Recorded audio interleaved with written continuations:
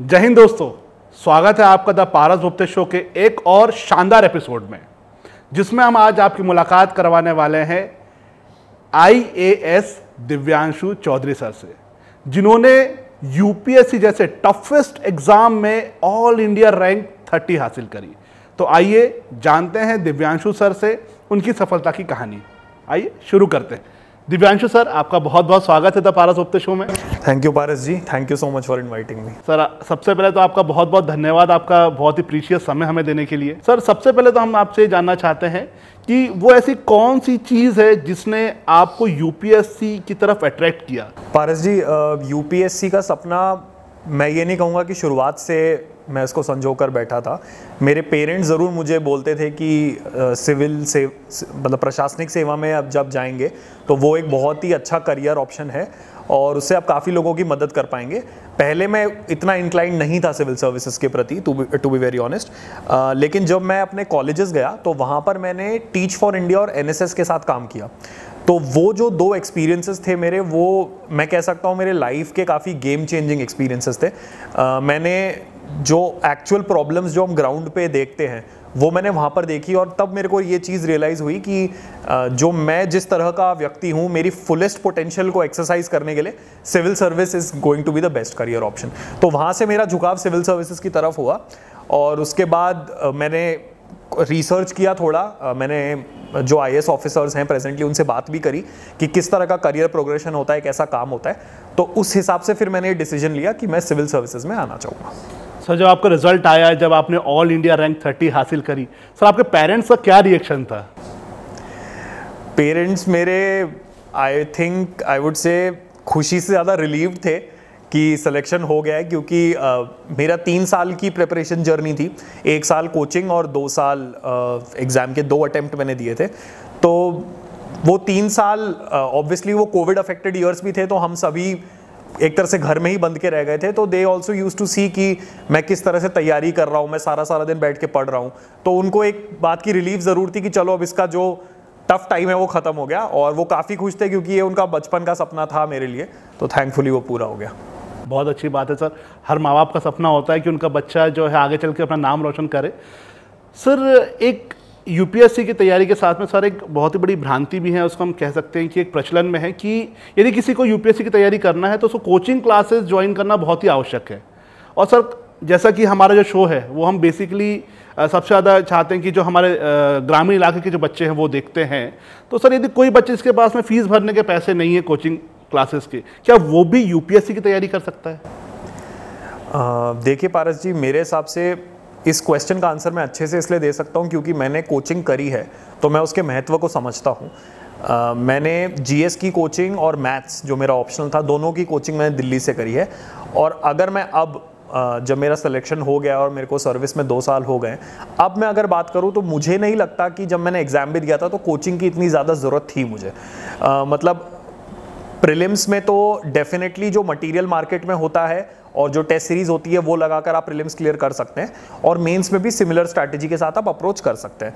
तो मेरे हिसाब से आजकल जैसे आप देखेंगे, इतनी सारी वेबसाइट्स हैं, उन पर सारे कोचिंग का मटेरियल आपको फ्रीली उपलब्ध होता है। तो there is absolutely no need of going for a coaching चाहे वो हिंदी मीडियम हो, चाहे वो इंग्लिश मीडियम हो। इंटरनेट पे जितना भी मटेरियल अवेलेबल है, उससे आप इजीली अपने आप को अच्छी तैयारी से ढाल सकते हैं। सर यूपीएससी का इतना बड़ा सिलेबस है, इतना विशाल सिलेबस जिसको हम बोल सकते हैं। तो सर, उतने सिलेबस को आपने किस प्रकार से, क्या स्ट्रेटजी थी सर, आपने कवर कैसे किया उसको? ये बात तो सच है कि एक काफ़ी कॉमन नोशन रहता है एस्पिरेंट्स के बीच में कि everything under the sun is covered in UPSC तो बेसिकली जो भी हमारे आसपास हो रहा है, वो सब कुछ यूपीएससी में आता है। पर मेरे हिसाब से हमें सबसे पहले एक चीज़ ये देखनी चाहिए कि यूपीएससी भी अल्टीमेटली एक एग्ज़ाम है। यूपीएससी का मतलब ये नहीं है कि आप ज्ञान बटोरते चले जाएँ और आप एग्ज़ाम में उसे दिखा ना पाएँ। इट इज़ वेरी इंपॉर्टेंट कि आप पहले यूपीएससी का सिलेबस देखें, उनके प्रीवियस ईयर क्वेश्चन पेपर्स देखें। आप एनालाइज करें अच्छे से कि कौन कौन से टॉपिक्स हैं जिनसे फ्रीक्वेंटली क्वेश्चंस पूछे जाते हैं। उसके बाद उस इंपॉर्टेंस के हिसाब से अपने सब्जेक्ट्स को पढ़ें। ये मैंने प्रायोरिटी जो की जो अप्रोच थी, ये शुरुआत से ही रखी थी। तो इसकी वजह से जो मेरे बेसिक बुक्स थे, वो मैंने काफ़ी बार पढ़ी, उनको रिवाइज किया इसी प्रायोरिटी ऑर्डर में। तो एक अच्छा कोऑर्डिनेशन बन गया कि मुझे पता था कि अगर इस तरह के क्वेश्चन आएँगे तो उसका आंसर मैं इस तरह से कर सकता हूँ। तो वॉट आई वॉन्ट टू से कि यूपीएससी में मटीरियल इतना ज़्यादा अवेलेबल है कि कोई भी इंसान बहुत ही आई वुड से आश्चर्यचकित रह जाएगा कि मैं क्या पढ़ूं और कैसे पढ़ूं। तो उसकी सबसे बेसिक चीज़ ये होनी चाहिए कि जो आपकी बेसिक किताबें उन पर फोकस करें प्रीवियस ईयर क्वेश्चन पेपर्स और सिलेबस को ध्यान में रख के उनको पढ़ें तो इससे आपका एक सेट पैटर्न बन जाएगा और वो आपको आगे रिविजन करने में भी हेल्प करेगा। सर यूपीएससी की तैयारी की जो आपकी यात्रा रही, सर, कई उसमें ऐसे बहुत ही बहुत ही ज़्यादा महत्वपूर्ण और ऐसे चैलेंजिंग टास्क हुए होंगे तो सबसे ज़्यादा आपके लिए चैलेंजिंग क्या रहा, सर, उसमें? यूपीएससी की जर्नी में चैलेंजेस तो देखिए आते हैं ups and downs daily basis पे होते हैं। मतलब मान लीजिए आप कोई प्रीलिम्स का मॉक टेस्ट अटेम्प्ट कर रहे हैं आपके मार्क्स अच्छे नहीं आए और प्रीलिम्स मान लीजिए एक या डेढ़ महीने दूर है तो आप ऑब्वियसली डीमोटिवेट हो जाएँगे कि पता नहीं मेरा होगा भी या नहीं होगा क्योंकि prelims is the first stage तो ऐसे काफ़ी डीमोटिवेटिंग मोमेंट्स आते भी थे। uh, मेरी तो उसमें तो मैंने ये ज़रूर uh, मैं थैंकफुल था कि मेरे पेरेंट्स मेरे साथ थे तो they kept my confidence up और उसके साथ ही मैंने भी क्योंकि मेरा लक्ष्य था कि मुझे एग्ज़ाम क्लियर करना है तो मैं भी अपने आप को मोटिवेटेड रखता था कि अगले टेस्ट में अच्छा करेंगे उस हिसाब से। आ, लेकिन एक ज़रूर बहुत बड़ा चैलेंज मेरे लिए तब आया था आ, जब मेरा फ़र्स्ट अटैम्प्ट का इंटरव्यू हुआ था और वो अच्छा नहीं गया था। और जब मेरा फ़र्स्ट अटैम्प्ट का रिज़ल्ट आया और मैं फाइनली इंटरव्यू के बाद मैं क्वालिफाई नहीं कर पाया था तो वो मेरे लिए काफ़ी बड़ा सेटबैक था क्योंकि प्रिलिम्स दो महीने बाद ही था। एंड मुझे उस उसको भुलाकर प्रीलिम्स की तैयारी में फिर से लगना था, क्योंकि एक बार अगर आपका इंटरव्यू के बाद भी नहीं होता है तो भी आप वापस प्रीलिम्स से ही स्टार्ट करते हैं। तो थैंकफुली उस चैलेंज को मैं ओवरकम इसलिए कर पाया क्योंकि मैंने प्रीलिम्स की तैयारी बीच में कर ली थी। तो वो बहुत ज़रूरी है इस एग्ज़ाम में, जो मुझे लगता है कि कोई भी चैलेंज हो, किसी भी तरह की डिफिकल्टी हो, आपको आगे बढ़ते रहना चाहिए। मैं को मैं ये समझ सकता हूँ कि उस डिफ़िकल्टी को भुलाना थोड़ा मुश्किल है, लेकिन अगर आपके साथ आपके नियर एंड डियर वंस का सहयोग रहता है और आपका कॉन्फिडेंस अगर अच्छा है, अगर आप मोटिवेटेड है अपने लक्ष्य के प्रति तो चीज़ आसान हो जाती है। सर, हर किसी की स्ट्रैटेजी होती है रणनीति होती है किसी चीज़ को क्रैक करने के लिए। सर यूपीएससी को क्रैक करने के लिए आपकी क्या रणनीति थी? देखिए यूपीएससी में जैसा कि सब एस्पिरेंट्स को शायद मालूम होगा, तीन स्टेजेस होती है प्रिलिम्स मेंस और इंटरव्यू तीनों की स्ट्रैटेजी अलग अलग होती है मेरे हिसाब से। तो प्रिलिम्स में मेरी स्ट्रैटेजी बेसिकली ये थी कि मैं बेसिक बुक्स को बार बार रिवाइज करूँ और टेस्ट सीरीज़ काफ़ी दूँ। तो मैंने जैसा कि मुझे याद है, अपने फ़र्स्ट अटैम्प्ट में मैंने करीब करीब प्रीलिम्स के सौ मॉक टेस्ट दिए होंगे। और इन माय सेकंड अटैम्प्ट क्योंकि मैं थोड़ा कॉन्फिडेंट हो गया था तो मैंने वो नंबर ड्रॉप डाउन करके अराउंड 60 टू 70 किया था। पर आप ये देख सकते हैं कि अगर आपको प्रिलिम्स एस करना है तो आपको एटलीस्ट 50 टू 60 मॉक टेस्ट तो देने ही पड़ेंगे। तो वो एक स्ट्रैटेजी मेरी प्रिलिम्स के लिए थी। मेंस के लिए ये होता है कि प्रीवियस ईयर क्वेश्चंस एक बहुत बड़ा गाइड होता है आपके लिए कि किस तरह के क्वेश्चंस पूछे जा सकते हैं। तो बुक्स और जो सोर्सेज है, वो लिमिट हो जाते हैं, पर उनको रिवाइज बार बार करना पड़ता है। तो अगेन टेस्ट सीरीज़ का रोल बहुत इंपॉर्टेंट है। आपको तीन घंटा बैठ के एक पेपर लिखना होता है। ट्वेंटी क्वेश्चन होते हैं इसमें। तो उसमें स्पीड कैसे अच्छी हो, किस तरह से आपका कंटेंट अच्छा हो, फिर आप उसको जब चेक करवाते हैं तो किस तरह से आप फीडबैक को रिसीव करते हैं। तो ये सब चीज़ें बहुत इंपॉर्टेंट होती हैं। तो ये एक मेरी मेंस के लिए थी और इंटरव्यू के लिए मेरी रणनीति ये थी कि जो फॉर्म होता है डिटेल्ड एप्लीकेशन फॉर्म उसमें बेसिकली जो जो भी मैंने लिखा है वो मैं ठीक से करूँ, अपनी हॉबीज़ वगैरह, अपने इंटरेस्ट्स अपने कोर्सेज जो मैंने किए हैं, और उस हिसाब से फिर मैं इंटरव्यू में अच्छा परफॉर्म कर पाऊँ। सर, जैसे बात करते हैं करंट अफेयर्स की तो सर, आप अपनी स्टडीज़ के दौरान करंट अफेयर्स से कैसे अपडेट रहे? और मतलब किन किन संसाधनों का किन किन या टेक्नोलॉजी का भी आपने उपयोग किया होगा तो उसके बारे में कुछ बताएँ, सर। करंट अफेयर्स मुझे लगता है कि काफ़ी इंपॉर्टेंट रोल प्ले करता है यूपीएससी सिलेक्शन में। तो पहले तो ऑब्वियसली हर एस्पिरेंट्स अगर आप बात करेंगे पर्टिकुलरली जो इंग्लिश लैंग्वेज से देते हैं ये एग्ज़ाम वो हिंदू एक एक न्यूज़पेपर आता है, उसको रेफर करते हैं। तो मैंने भी वहीं से शुरू किया था। शुरुआत में मुझे भी कुछ समझ नहीं आता था कि ये क्या लिखा है, क्योंकि लैंग्वेज काफ़ी टफ है। तो मैंने यूट्यूब वीडियोस देखे। जैसे अन अकेडमी के जो फाउंडर है रोमन सैनी सर उनको एक वीडियो है कि हम हिंदू न्यूज़पेपर कैसे पढ़े। तो मैंने वो देखा और उसके हिसाब से फिर मैंने न्यूज़पेपर पढ़ा। तो मेरा न्यूज़पेपर का टाइम कम हो गया फिर मैं समझने लग गया। उसके बाद मैं जो कोचिंग है उनकी, जैसे मैं विजन आई की कोचिंग जो है, उसके करंट अफेयर मैगजीन्स पढ़ता था। तो एक बार आप वहाँ से कंफर्टेबल हो जाते हैं, फिर आप करंट अफेयर मैगजीन्स पे जाते हैं। तो ये दो रिसोर्सेज मैंने मोटे मोटे यूज़ किए। इसके अलावा मैं करंट अफेयर्स के नोट्स भी बनाता था। तो उनको को मैं मंथली या वीकली बेसिस पर रिवाइज करता था so that I gained confidence before going into the exam sir जैसा कि अभी बहुत चर्चा में है एआई आर्टिफिशियल इंटेलिजेंसी तो सर क्या इस टेक्नोलॉजी का आपने भी कभी उपयोग किया अपनी यूपीएससी की तैयारी के दौरान? देखिए मैंने इन पर्टिकुलर एआई का उपयोग तो नहीं किया है, लेकिन मैंने डिजिटल टेक्नोलॉजी का ऑब्वियसली काफ़ी यूज़ किया है। जैसे फॉर एग्जांपल इंटरनेट पर एक वेबसाइट है फ्री यू पी उस पर आपको जितना मटीरियल पॉसिबल है यूपीएससी का, हर कोचिंग का, चाहे वो टेस्ट सीरीज़ हो, चाहे स्टडी मटीरियल हो वो आपको फ्रीली अवेलेबल है। तो मैंने उस वेबसाइट का काफ़ी यूज़ किया, जिसकी वजह से टेस्ट सीरीज़ मेरे को फ्री में मिलती थी। लेकिन अब जब मैं करंट फ़ेज़ में देखता हूँ, जैसे अब चैट जीपीटी का हम सबने नाम सुना है। चैट जीपीटी एक इतना अच्छा ए प्लेटफॉर्म है, जहाँ पे आप कोई भी क्वेश्चन लिखते हैं, उसका फटाफट आंसर आ जाता है। तो डेफिनेटली आप इन प्लेटफॉर्म्स को यूज़ कर ही सकते हैं to get answers very quickly जिसकी वजह से आपका गूगल पे जो सर्च करने का टाइम है, वो बच जाएगा। तो I would definitely suggest the aspirants to go for AI sir, जैसे यूपीएससी जो है, वो एक बहुत ही लॉन्ग डिस्टेंस प्रोसेस एक प्रकार से मतलब बहुत ज़्यादा समय लगता है उसमें। सर, इस दौरान आपने अपने आप को कैसे मोटिवेटेड रखा? क्योंकि आजकल पेशेंस की बहुत कमी होती है। तो आप सर अपने आप कैसे मोटिवेट करते थे सर उसमें? ये काफ़ी एक्चुअली इंपॉर्टेंट क्वेश्चन है क्योंकि जब आप स्टार्ट करते हैं प्रेपरेशन आप बहुत full of confidence and motivation होते हैं कि मैं तो फ़र्स्ट अटैम्प्ट ही निकाल लूँगा और मैं सब पढ़ लूँगा। बट जब आप एक बार चीज़ें पढ़ लेते हैं, तब उसके बाद जब आपको वो चीज़ बार बार रिवाइज करनी होती है, तब आपका इंटरेस्ट थोड़ा कम होता जाता है। और सब्सिक्वेंटली जब आप ये अटैम्प्ट भी आपके बढ़ते जाते हैं, और वो सेम चीज़ आप बार बार पढ़ रहे रिवाइज कर रहे हैं तो एक तरह से एक आई वुड से लिथार्जी या कंप्लेसेंसी आ जाती है कि मैं क्या कर रहा हूँ मैं ये क्यों कर रहा हूँ? तो उस वक्त अपने आप को मोटिवेटेड रखना बहुत ज़रूरी है। तो फ़र्स्ट uh, तो ऑब्वियसली uh, मेरे पेरेंट्स उन्होंने हमेशा मेरा मोटिवेशन लेवल हाई रखने की कोशिश करी है so I am very thankful to them उसके अलावा पर्सनल uh, लेवल पे I also use to listen to motivational songs movies भी मैं देखता था। तो उस तरह से I use to keep my motivation levels up so जैसे कौन सी मूवीज़ आपको मोटिवेट करती थी? uh, जैसे मेरी एक बहुत फेवरेट मूवी है बॉलीवुड की uh, इकबाल इकबाल हाँ uh, जिसमें एक मूक बधिर बच्चा है वो इंडियन क्रिकेट टीम में सेलेक्ट होता है और वो मूवी मुझे काफ़ी रियलिस्टिक भी लगती है। मतलब उसमें मुझे कहीं भी ऐसा नहीं लगता कि आ, कोई कुछ ऐसा ड्रामेटाइज कर दिया है कि इस बच्चे को का लक अच्छा था इस तरह से। तो वो मुझे बहुत एक close to the heart movie एक कह सकते हैं। तो इस तरह की मूवीज़ मैं डेफिनेटली प्रेफर करता था। सर स्ट्रेस को दूर करने के लिए आप क्या करते थे? कैसे कुछ सॉन्ग्स वगैरह सुनते थे या सॉन्ग्स इज़ डेफिनेटली काफ़ी अच्छे स्ट्रेस बस्टर्स होते हैं।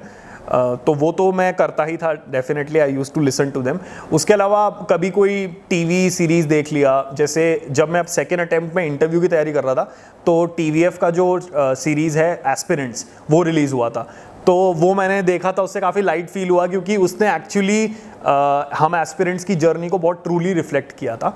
तो इस तरह से I use to keep myself motivated I use to search those things जिससे मैं थोड़ा अपने आप को उस जोन में रख पाऊँ कि मैं डीमोटिवेट ना हो जाऊँ किसी टेस्ट में कम स्कोर आने से उस तरह से तो वही मैं करता था। सर जैसे जो एस्पेरेंट्स हैं सर, एक बार अटैम्प्ट फेल हुआ, दूसरी बार अटैम्प्ट फेल हुआ तो कई बार वो भी डीमोटिवेट हो जाते हैं और ख़ासकर जो हम बात करते हैं कुछ लोगों की, या घर की बात करें माता पिता की बात करें तो वो भी पूछते हैं, क्यों नहीं हो रहा है? तो एक कहीं ना कहीं एक माहौल टेंशन वाला बन जाता है। तो सर, ये जो फेलियर है बार बार अटैम्प्ट में फेल होना। सर इसको कोई जैसे आपका भी पहला अटैम्प्ट फेल हुआ, आपने बताया। तो सर कैसे उसको कोई जो है ओवरकम कैसे कर सकता है सर पारस जी, मुझे लगता है इस क्वेश्चन के दो पहलू हैं। पहला तो ये है कि जैसे अगर मैं आपको ब्रॉडली बताऊँ, काफ़ी एस्पिरेंट्स आपने ऐसे देखे होंगे जो फिफ्थ सिक्स अटैम्प्ट में निकालते हैं एग्ज़ाम काफ़ी ऐसे होते हैं जो फ़र्स्ट सेकंड में भी निकाल लेते हैं। काफ़ी ऐसे होते हैं जिनके छः अटैम्प्ट के बाद भी सिलेक्शन नहीं होता है। तो मुझे लगता है इसमें दो तीन पॉइंटर्स हमें शुरुआत में ध्यान देने की ज़रूरत है। पहला चीज़ तो ये कि जब मैं अपनी यूपीएससी जर्नी स्टार्ट करने आया था तो मैंने अपने आप को तीन अटैम्प्ट दिए थे। And I promise myself कि अगर तीन अटैम्प्ट में मेरा कहीं होगा तो ही मैं आगे के अटेम्प्ट दूँगा जिससे मेरा रैंक इंप्रूव और सर्विस इंप्रूव हो। अगर मेरा तीन अटेम्प्ट में नहीं होता है तो मैं कोई और ऑल्टरनेटिव करियर स्ट्रीम देखूँगा। तो मेरे हिसाब से अगर आप इस प्रेपरेशन में आ रहे हैं तो सबसे पहले अपने आप के लिए एक अटेम्प्ट नंबर फिक्स कर ले। और मैं ये नहीं कह रहा कि आप उसके बाद अटेम्प्ट न दें, लेकिन अगर आपको लग रहा है कि आप बेरोजगार बैठ के वो अटेम्प्ट दिए जा रहे हैं तो it will take a toll on your mental health as well as वो जॉब मार्केट में भी आपको पीछे कर देगा। तो इट इज़ बेटर कि पहली चीज़ तो आप अटेम्प्ट फिक्स करें। अगर आपका तब तक भगवान ना करे न होता है तो आप एक ऑल्टरनेटिव जॉब उठा लें उसके साथ तैयारी करें। पहला तो मेरा सजेशन ये है। दूसरा मेरा सजेशन ये है कि आ, मोटिवेटेड रखने के लिए, जैसे मैंने आपको कहा कि सॉन्ग्स फैमिली इन सब का सपोर्ट तो काफ़ी ज़रूरी है ही। उसके अलावा ये चीज़ देखना बहुत ज़रूरी है कि मान लीजिए आपने कोई एग्ज़ाम दिया, आप उसमें फेल हो गए, जैसे आप मेंस में फेल हो गए, या आप इंटरव्यू के बाद फेल हो गए, आप एनालाइज करें कि मेंस प्लस इंटरव्यू के स्कोर से आप सेलेक्ट होते हैं, या प्रिलिम्स में ही आप फेल हो गए। आप ये एनालाइज करें कि आप कितने मार्क्स से फेल हुए हैं। अगर वो मार्जिन बहुत बड़ा है, और अगर आपको दो तीन अटेम्प्ट देने के बाद भी वो मार्जिन छोटा होता हुआ नहीं दिख रहा है तो आपको ये समझ लेना चाहिए कि प्रेपरेशन आपके लिए नहीं है। आप कुछ और करें। लेकिन अगर आपको ये लग रहा है कि आप अच्छे से मेहनत कर रहे हैं और वो मार्जिन बहुत छोटा होता जा रहा है और बस एक अटेम्प्ट ही शायद और लगेगा जिसमें आप उस हर्डल को पार कर जाएँगे तो तब आप उसके अकॉर्डिंग मेहनत करें। तो मेरे हिसाब से ये बहुत इंपॉर्टेंट है कि आप एनालाइज करें खुद की स्ट्रेंथ्स और वीकनेसेस और उसके हिसाब से इस जर्नी में प्रोसीड करें।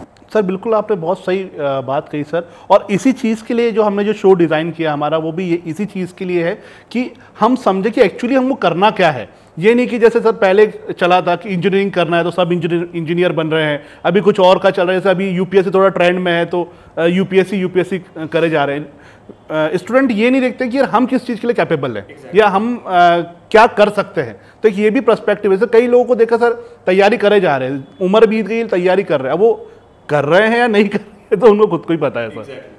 सर आपकी जो ये पूरी तैयारी और जो जर्नी रही सर जैसे आपने बताया कि ये पेरेंट्स का बहुत बड़ा योगदान रहता है फैमिली का बहुत बड़ा योगदान रहता है तो सर आपके घर का आपके माता पिता आपके भाई बहन का क्या कैसा योगदान रहा सर इसमें? Uh, मेरे पेरेंट्स का जो uh, योगदान था जैसे मैंने पहले ही बताया काफ़ी इंपॉर्टेंट था वो। वो एक्चुअली इस बात से uh, मतलब आया था कि मेरे पेरेंट्स प्रोफेसर्स थे।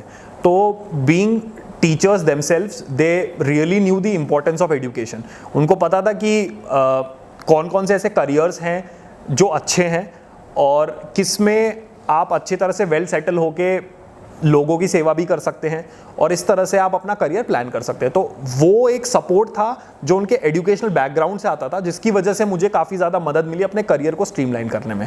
और उसके अलावा मेरी फैमिली में मेरी एक यंगर सिस्टर है, वो अभी उनका अभी पीजी ख़त्म हो रहा है इंदौर एमजीएमसी से।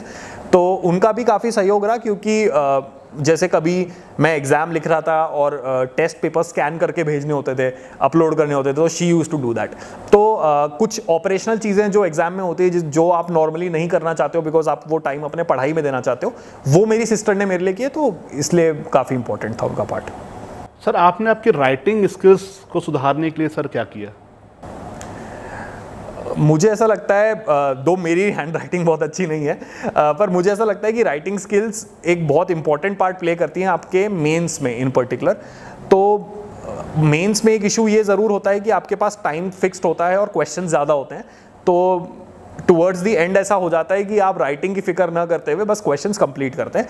लेकिन हाँ आ, मैंने ये ज़रूर किया था कि आ, जो पेपर्स होते हैं जिसमें आप अच्छे से लिख सकते हैं जैसे ऐसे हो गया या जैसे मेरा ऑप्शनल था मैथमेटिक्स या और भी कोई ऑप्शन इसमें समय मिल जाता है उसमें मैं राइटिंग अच्छे से लिखता था। And I use to do simple things like underlining key words putting them in boxes writing in point format तो मेरे को लगता है कि अगर आप कुछ सेट स्टैंडर्ड से चलेंगे तो वो आपको एज कंपेयर टू जो आप खुद से रैंडम चीज़ें करते हैं या खुद अलग से चीज़ें करते हैं, उससे ज़्यादा वो पे बैक करते हैं। तो मैंने इस तरह से अपना डिज़ाइन किया था स्ट्रैटेजी सर, आपका यूपीएससी का इंटरव्यू का अनुभव कैसा रहा, सर?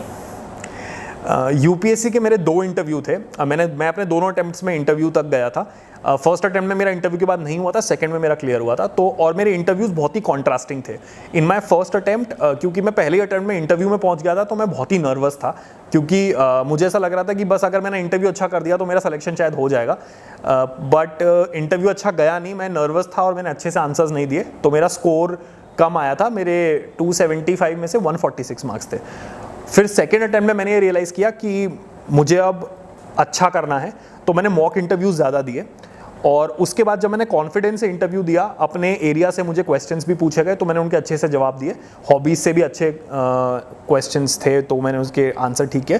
तो आई गॉट 206 तो बेसिकली में जो मेरा सिलेक्शन हुआ है, वो इसी 60 मार्क्स के गैप की वजह से हुआ है। तो interview played a really important role in my selection और मेरे हिसाब से इंटरव्यू में सबसे इंपॉर्टेंट यही है कि आप कॉन्फिडेंट रहें। किसी भी तरह का क्वेश्चन आए, एक बार 10 सेकेंड काम डाउन होके सोच के जवाब दें, जो बहुत इंपॉर्टेंट है। ऐसा नहीं कि क्वेश्चन आया, तुरंत ही आपने जवाब दे दिया। वो आपकी अगर आपको आता है तो वो आपकी आतुरता भी दिखाता है कि आप काम नहीं है, और अगर आपको नहीं आता है तो वो आपका चेहरे पे आ जाएगा कि ये क्या पूछ लिया मुझसे।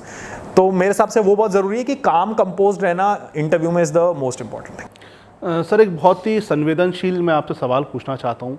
क्योंकि अभी सर मैंने देखा है काफ़ी यूट्यूब पे जो कंटेंट चल रहा है, चाहे वो किसी भी चीज़ को लेकर के और यूपीएससी की तैयारी को लेकर भी चल रहा है तो उसमें मैंने देखा है कि कई जगह पर ना ड्रग्स का बहुत ज़्यादा नाम आता है। भले हँसी मज़ाक में नाम आए कि हम तो ऐसा करते थे, है ना, वैसा करते थे तो सर, ये कहीं ना कहीं ये गलत चीज़ है एस्पेरेंट के लिए। सर, इस पर आपको क्या सुझाव? क्योंकि लोग बोलते हैं कॉमन है।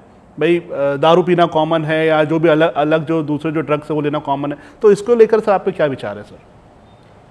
देखिए, पारस जी, इसमें मेरा बहुत ही क्लियर स्टैंड है। जो लोग इस कंटेंट को कंज्यूम कर रहे हैं, उनको सबसे पहले ये समझ होना बहुत ज़रूरी है कि ये कंटेंट सिर्फ़ इसीलिए बनाया गया है ताकि ये बिक सके। अगर कोई कॉमेडी वीडियो में ये चीज़ डाल रहा है तो उसका पर्पज समझिए आप कि वो कॉमेडी करना चाह रहा है। वो आपको ये नहीं बोल रहा है कि आप ये करने बैठ जाएँ। और ऑब्वियसली अगर आप कभी भी उनका वीडियो को एनालाइज भी करेंगे या उनके करियर को देखेंगे भी तो आपको पता चलेगा कि अगर वो यूपीएससी की तैयारी कर रहे हैं, किसी भी इंपॉर्टेंट एग्ज़ाम की तैयारी कर रहे हैं तो वो उसमें सक्सेसफुल नहीं हो पाए क्योंकि वो ये सब चीज़ें कर रहे थे। तो उतनी समझ आप में होनी चाहिए। अगर आप में उतनी समझ नहीं है तो मेरा ये सजेशन रहेगा कि इस तरह का कंटेंट पहली बात तो कंज्यूम ही ना करें और दूसरी बात इस भ्रांति को तो मैं बहुत ही सिरे से नकार देता हूँ कि किसी भी तरह के एडिक्शन का होना, जैसे ड्रग्स हो गया या अल्कोहल हो गया उससे परफॉर्मेंस आपकी इंक्रीज होती है या आपका सिलेक्शन होता है ऐसा बिल्कुल नहीं है। मैं हमेशा इन चीज़ों से दूर रहा हूँ और थैंकफुली मेरा सिलेक्शन हो गया और मेरे जितने भी दोस्त हैं जो मेरे बैचमेट्स हैं वो सभी इन चीज़ों से दूर भी रहे। तो आ, मतलब मुझे कहीं नहीं लगता कि इस तरह का कोई भी चीज़ किसी एस्पिरेंट को करना चाहिए अगर वो सीरियस है अपने ड्रीम को लेकर सर जैसे अभी एक आपको मौका मिले या एक सजेशन आप हमें दे यदि कोई बच्चा टेंथ या ट्वेल्थ में है और वो उसने सोचा कि मुझे यूपीएससी क्रैक करना है, मुझे आईएएस बनना है आईपीएस बनना है। उसके लिए क्या स्ट्रेटेजी होना चाहिए? यदि आप उस बच्चे की जगह रहते सपोज़ यदि आपको टेंथ क्लास या ट्वेल्थ क्लास से रिपीट करने का आपको मौका मिलता तो आप क्या एक स्ट्रैटेजी बनाते और किस प्रकार से फिर आप पहले ही अटैम्प्ट में उस स्ट्रैटेजी के अपना करके और अपना पहले अटैम्प्ट में क्लियर कर लेते हैं? मुझे लगता है, पारस जी, इसमें भी दो पहलू हैं। पहली चीज़ तो ये कि ये बहुत ही रेयर होता है कि टेंथ या ट्वेल्थ में आपको इस चीज़ का आइडिया हो कि आपको यूपीएससी की तैयारी करनी है, क्योंकि कई बार मैंने अपने दोस्तों को भी देखा है जो टेंथ ट्वेल्थ में ये सोचते थे कि हमको तैयारी करनी है। वो ऑब्वियसली वो कह सकते हैं पेरेंट्स की तरफ़ से ही एक पुश होता था। लेकिन जब वो कॉलेजेस गए अपने तो उनको रियलाइज़ हुआ कि यूपीएससी मैं नहीं करना चाहता। मैं एमबीए करना चाहता हूँ या मैं जॉब करना चाहता हूँ, मैं बाहर जाना चाहता हूँ विदेश में। तो पहली बात तो ये कि इस उम्र में अगर आपने, सही में आपका ड्रीम है कि आपको यही करना है तो मैं पहली बात तो वही एक बहुत ही काबिल तारीफ़ बात मानता हूँ कि आपने इतनी जल्दी सोच लिया कि आप ये करना चाहते हैं। और दूसरी चीज़ ये कि अगर आप कोई भी कोर्स देखें यूपीएससी जैसे मान लीजिए अगर आपको देना है तो आप ग्रेजुएशन के बाद ही दे सकते हैं। इंडिया में मिनिमम ग्रेजुएशन का जो आई वुड से ईयर्स हैं, वो थ्री हैं। अगर आप आर्ट्स या किसी और कोर्स में जाते हैं इंजीनियरिंग में चार है मेडिकल में और ज़्यादा बढ़ जाते हैं, पाँच, साढ़े पाँच। तो मेरा ये सजेशन रहेगा कि जब आप टेंथ में सब्जेक्ट्स लें या आप ट्वेल्थ के बाद भी आप यूपीएससी करना चाहते हैं तो सब्जेक्ट हमेशा अपनी पसंद का चुनें। चाहे वो साइंस हो चाहे वो आ, और भी हो कॉमर्स हो या आर्ट्स हो या जो भी हो क्योंकि सिर्फ़ इस चीज़ के लिए एक आर्ट सब्जेक्ट को उठा लेना कि मुझे यूपीएससी करना है तीन साल बाद। हो सकता है आपको वो सब्जेक्ट पसंद ही ना आए और फिर आपका ड्रीम भी ड्रॉप हो जाए। तो मेरा सजेशन ये टेंथ ट्वेल्थ में अपना पसंद का सब्जेक्ट चुने उसमें अच्छे से पढ़ाई करें उसको एक बार डेप्थ में देखें कि क्या इसमें करियर मैं बना सकता हूँ या नहीं बना सकता हूँ। अगर फिर भी आपको लगता है कि आप यूपीएससी ही करना चाहते हैं तो उस ग्रेजुएशन में जिस समय आपने सब्जेक्ट किया है, उसके बाद भी आपके पास बहुत सारे ऑप्शन अवेलेबल होंगे यूपीएससी क्रैक करने के लिए। आप अपना ऑप्शनल चेंज भी कर सकते हैं, आप उसी सब्जेक्ट में भी जा सकते हैं। तो इट इज़ वेरी इंपॉर्टेंट कि टेंथ ट्वेल्थ में अपने इंटरेस्ट पे फोकस करें। पहले अपना करियर देख लें, अपना ग्रेजुएशन तक देख लें। उसके बाद अगर आप यूपीएससी करना चाहते हैं तो उस हिसाब से आप फॉलोअप करें। सर यूपीएससी में क्या लैंग्वेज भी एक बैरियर है? सपोज़ यदि कोई बच्चा हिंदी मीडियम से बिलोंग करता है तो क्या उसको इंग्लिश मीडियम के बच्चे कंपेरेटिवली ज़्यादा मेहनत करनी पड़ती है? ये एक्चुअली अगर आप देखें रिजल्ट्स में तो ये थोड़ा एविडेंट तो है कि इंग्लिश मीडियम के स्टूडेंट ज़्यादा सेलेक्ट होते हैं as compare to Hindi medium तो मैं ये, इस चीज़ को डिनाई तो नहीं करूँगा। हिंदी मीडियम में मेहनत ज़्यादा करनी पड़ती है, वो बात सही है। लेकिन एक चीज़ मैं बहुत ही क्लियरली बोल देता हूँ कि अगर आपने तैयारी अच्छी करी है तो आपका मोड ऑफ़ कम्युनिकेशन चाहे वो इंटरव्यू हो चाहे वो मेंस हो उससे फ़र्क नहीं पड़ता कि आप आ, किस मोड में पेपर दे रहे हैं। आपका अगर कंटेंट अच्छा है अगर आप बोल अच्छा पाते हैं अगर आप अपने पॉइंट्स को लॉजिकली पुट फॉरवर्ड कर पाते हैं तो मुझे नहीं लगता कि language is a barrier but yes Hindi medium को इन जनरल थोड़ा ज़्यादा मेहनत करना पड़ता है as English medium students but अब हम देख रहे हैं जैसे लास्ट ईयर टॉप 20 में टॉप थर्टी में दो लोग थे हिंदी मीडियम से। और अब वो नंबर बढ़ता ही जा रहा है। तो इन द कमिंग ईयर्स जो हिंदी मीडियम के स्टूडेंट्स हैं, उनका नंबर बढ़ेगा ही बढ़ेगा। दैट इज़ फॉर श्योर तो इसलिए, इस बात से कभी आप अपने आप को डिमोटिवेटेड महसूस ना करें कि अरे इंग्लिश मीडियम का ज़्यादा सिलेक्शन है, हमारा तो होगा ही नहीं। तो वो चीज़ नहीं है, बस अपने कॉन्टेंट और अपनी तैयारी पर फोकस करें।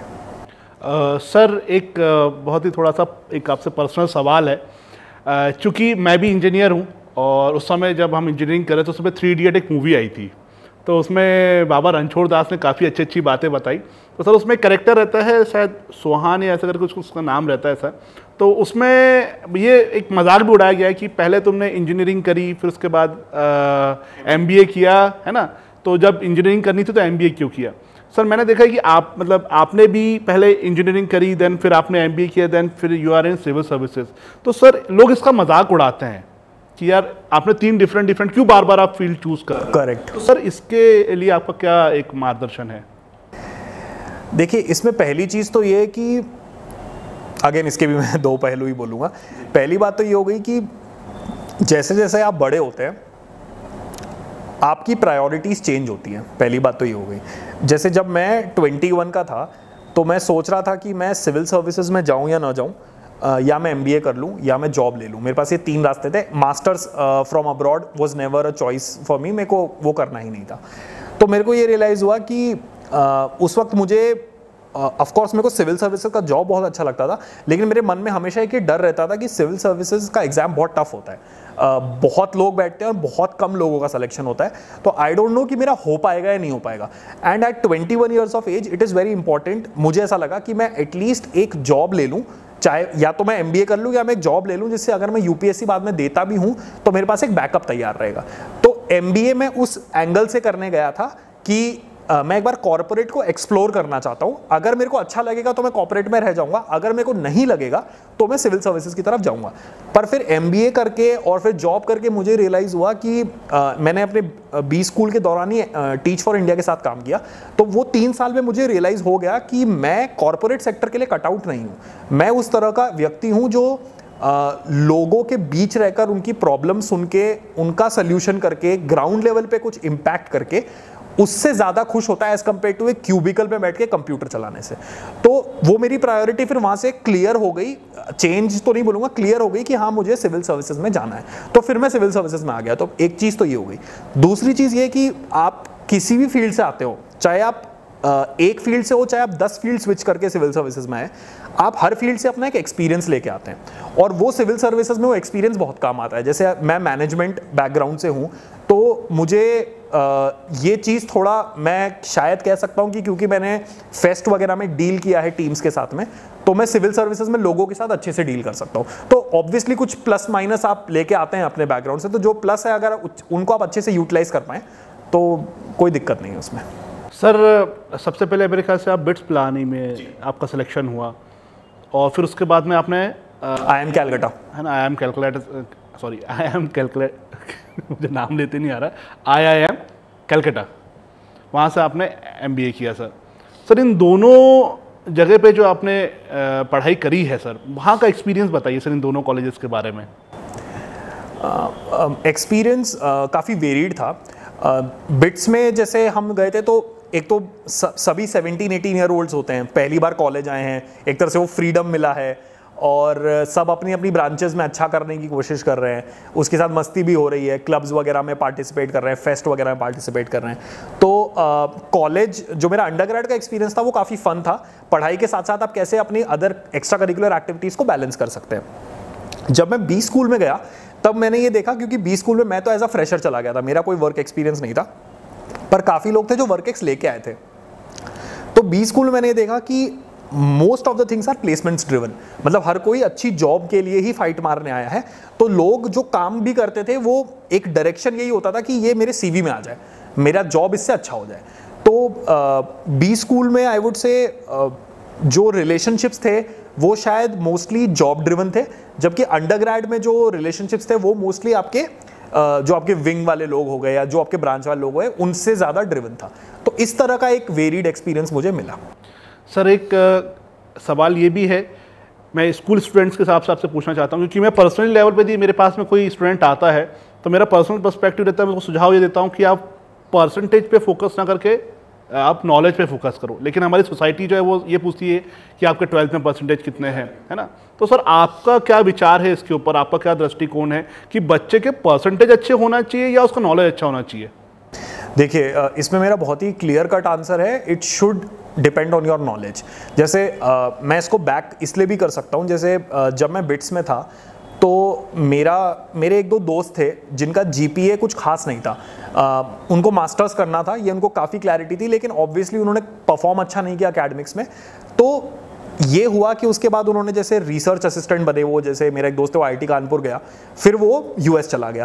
तो ये हो सकता है कि मान लीजिए आपके अगर मार्क्स कम है या आपके ग्रेड्स कम हैं तो आपको शायद एक दो साल एक्स्ट्रा मेहनत करनी पड़े as compare to those people जिनके मार्क्स अच्छे हैं। लेकिन अगर आपको ये क्लियर है कि आपको यही करना है, आपको ये पता है कि आपकी नॉलेज अच्छी है, आपको मालूम है कि आपको करियर इसी में बनाना है तो वो मेहनत को आप as a part of your journey मानिए और उसके बाद डेफिनेटली आप वहाँ पहुँच ही जाएँगे जहाँ पहुँचना चाहते हैं। तो मेरे लिए is all about knowledge marks obviously एक बेसिक लेवल तो होना ही चाहिए। I will I will not deny that but कभी भी मार्क्स से लेकर डीमोटिवेट होना मुझे कभी सही नहीं लगा। सर, वही ना, जैसे मैंने एक चीज़ ये देखी है कि अभी जो है, जैसे एक एस्पिरेंट की हम बात करें या एक नॉर्मल हम स्टूडेंट की बात करिए तो सिर्फ़ और सिर्फ़ स्टडीज़ ही सब कुछ नहीं है। लाइफ में उसका मेंटल हेल्थ भी बहुत ज़्यादा है। Exactly exactly. सर अभी हम देख रहे हैं कि बहुत ज़्यादा सोसाइटल केसेस भी डिप्रेशन के कारण सामने आ रहे हैं। तो कहीं ना कहीं वर्क प्रेशर भी है सोसाइटी का भी प्रेशर होता है। तो सर इन सब चीज़ों के आपके क्या विचार है? मतलब किस प्रकार से किसी एस्पिरेंट ने डील करना चाहिए अपने डिप्रेशन से? ये काफ़ी इंपॉर्टेंट क्वेश्चन है क्योंकि अगर मैं पर्टिकुलरली यूपीएससी की जर्नी की बात करूँ तो जो लोग पिछले तीन, चार, पाँच साल से लगे हुए हैं। Depression is a very common thing क्योंकि आप वही चीज़ को बार बार पढ़ रहे हैं, आपका रिज़ल्ट नहीं आ रहा है तो आप फ्रस्ट्रेट हो रहे हैं कि जो है सामने उसी को पढ़ना है, मैं पढ़ भी चुका हूँ, फिर भी रिज़ल्ट क्यों नहीं आ रहा है? तो मेरे हिसाब से, जैसे मैंने पहले भी बताया था, इसमें दो, तीन चीज़ें ही काम आती है। पहली तो आपके जो नियर एंड डियर वंस हैं, उनको अपने पास रखें, उनसे मोटिवेशन लें, उनसे रोज़ बात करें, वो बहुत इंपॉर्टेंट है। एक तो वो हो गया। दूसरा पर्सनल मोटिवेशन की मैंने बात करी थी। और तीसरी चीज़ ये है कि आपको ये पता होना चाहिए कि सही वक्त पर किस चीज़ को कंटिन्यू करना है या कहाँ से निकलना है। अगर आपको क्लैरिटी है कि ये चीज़ मेरे लिए नहीं बनी है, मेरे ऐसे काफ़ी दोस्त हैं जिन्होंने यूपीएससी को पाँच अटैम्प्ट के बाद छोड़ दिया, कुछ दोस्त ऐसे इन्होंने दो अटैम्प्ट के बाद ही छोड़ दिया, उनको ये पता चल गया था कि ये एग्ज़ाम मेरे लिए नहीं है मैं या तो इतने घंटे बैठ के पढ़ नहीं सकता, या फिर इसमें बहुत सारी ऐसी चीज़ें पूछ पूछ रहे हैं ये लोग, जो मेरे बस के बाहर है, जो मैं शायद एक साल में गैदर ना कर पाऊँ। तो इट इज़ वेरी इंपॉर्टेंट कि अगर आप समझ चुके हो कि आपसे ये नहीं होगा तो उसमें कोई ऐसी बात नहीं कि आप हार गए हैं। आप बस एक बेहतर रास्ता चुन रहे हैं जहाँ आपकी कैपेबिलिटीज़ का अच्छे से इस्तेमाल हो पाएगा। तो वो क्लैरिटी होना बहुत ज़रूरी है मेरे हिसाब से। सर, हर व्यक्ति का एक प्लान भी होता है। जैसे आपने इसके पहले भी कहा था कि एक आपका अल्टरनेटिव चॉइस होना चाहिए। सर आपके हिसाब से आपका प्लान बी क्या था? इफ़ यू आर यदि आपका सिलेक्शन नहीं होता तो आप क्या करते हैं इसके बाद? मेरा प्लान भी एक्चुअली ये था कि मैं मोस्टली पीएचडी के लिए जाता। uh, मुझे uh, हमेशा से ये क्लैरिटी रही है मतलब पर्टिकुलरली कॉर्पोरेट जॉब के बाद ये क्लैरिटी आ गई थी कि अगर कोई दो करियर्स हैं जहाँ पे मैं अच्छा कर सकता हूँ वो या तो सिविल सर्विसेज़ है या फिर टीचिंग है। टीचिंग क्योंकि मैंने एनएसएस में करी थी बिट्स पिलानी में तो आई रियली इंजॉय दैट तो इसलिए मैं समझ गया था कि मैं प्रोफेसर बनूँगा अगर ये वर्कआउट नहीं करता है तो मैं डेफिनेटली पीएचडी करके कहीं ना कहीं प्रोफेसर होता. सर आपकी ऑल इंडिया रैंक थर्टी आई. क्या सर आपको उस समय पता था कि आप थर्टी लेके आएँगे? आपका क्या टारगेट था सर नहीं आ, मुझे तो ये भी नहीं लग रहा था कि मेरा फाइनल लिस्ट में नाम भी आएगा क्योंकि यूपीएससी इतना अनप्रडिक्टेबल एग्ज़ाम है आपको कभी नहीं पता कि किस तरह आपके पेपर्स गए और आपने कैसा परफॉर्म किया है, हर चीज़ एक सॉर्ट ऑफ़ ब्लैक होल की तरह होती है। तो मुझे इसका कोई अंदाज़ा नहीं था but thankfully it turn out well sir इस एपिसोड के अंत में मैं आपसे, वैसे तो इतना कुछ है कि मुझे ऐसा लगता है कि मैं बातें करते ही जाऊँ, करते जाऊँ और आपसे पूछते ही जाऊँ। सर, मैं आपसे एक निवेदन करना चाहता हूँ कि जो छात्र यूपीएससी क्लियर करने का सपना देख रहे हैं, जो एस्पेरेंट्स हैं, और जिन्हें थोड़ी बहुत कोई दिक्कत आ रही है इस फ़ील्ड में सर उनके लिए आप एक सुझाव अपनी तरफ़ से प्रदान करें। Firstly thank you Paras ji. मुझे uh, बुलाने के लिए शो पे मुझे भी काफ़ी मज़ा आया ये कॉन्वर्सेशन करके आपसे। एंड यूपीएससी एस्पिरेंट्स और जो भी लोग इसका सपना भी देख रहे हैं यू पी एस सी में आने का उनको मेरा सुझाव तो यही है कि हार्ड वर्क का कोई सब्सटीट्यूट पहली बात तो नहीं है। हार्ड वर्क आपको करना ही पड़ेगा और आ, मैं मैं एक बहुत बड़ा फॉलोअर हूँ गीता के उस कोट का कि आप कर्म करते जाइए और फल की इच्छा ना करें। वो बहुत ज़्यादा ज़रूरी है इस जर्नी में क्योंकि आप कभी नहीं जानते कि कब आपका रिज़ल्ट पॉजिटिव आ जाएगा और कितना टाइम लगेगा। तो आपको मान के चलना पड़ेगा कि आपको शायद एटलीस्ट टू ईयर्स तो देने ही देने हैं अगर आपका फ़र्स्ट अटैम्प्ट में भी होता है तो। तो हार्ड वर्क का को, कोई सब्सटीट्यूट है नहीं पहली बात। दूसरा आपने करीबी लोगों को अपने पास रखें, वो बहुत ज़्यादा ज़रूरी है। और तीसरा, हर तरह की भ्रांति से बचें और खुद की एक अप्रोच और स्ट्रैटेजी बनाएँ। आप देखते होंगे काफ़ी सारे टॉपर्स यूट्यूब पे सबकी अपनी अपनी स्ट्रैटेजी है। ऐसा नहीं है कि अगर आप उनको फॉलो कर लेंगे तो आपका सिलेक्शन हो ही जाएगा। इट इज़ वेरी इंपॉर्टेंट कि जो भी आपकी स्ट्रैटेजी हो, आप सुबह पढ़ें, चाहे आप रात में पढ़ें, आप क्या पढ़ें, आप कितने घंटे पढ़ते हैं, वो सब आपके हिसाब से आपको डिसाइड करना है। और अगर आपको लग रहा है कि आपने end of the day hundred percent अपना दिया, आपको जो लक्ष्य अचीव करना था आपने वो कर लिया तो मेरे हिसाब से इस जर्नी में आप काफ़ी अच्छे से आगे बढ़ जाएँगे और अल्टीमेटली आपका एग्ज़ाम क्लियर हो जाएगा। तो सर, मैं अपनी पूरी टीम की तरफ़ से आपका बहुत बहुत धन्यवाद देता हूँ। आज आपने अपना बहुमूल्य समय हमें दिया।